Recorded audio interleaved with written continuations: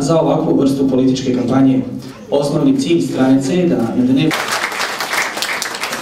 A sad... Ali, mi smo svoji pa nećete ni zamjeriti. Prilice mi je drago što su nas, jer nisu zaboravili što su nas ponavljali da traži stari. Želim što nas upravo sad, jel, što se dešava svima nama.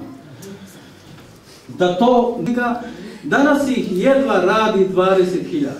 To vam dovoljno govori gdje je srozana i dokle je došla ova privreda, a da ne govorim u drugim granama kao što je te... Nema radnika koji hodaju, kojima su fabrike prodane, gdje su radnici istjerani na ulicu, gdje... Ja ću...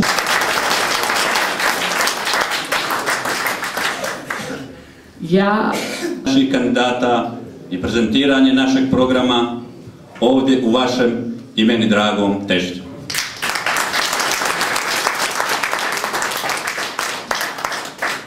Socijalne skrbi kao praksu mora jer naša zemlja i svi mi u njoj nemamo pravo na siromaštvo.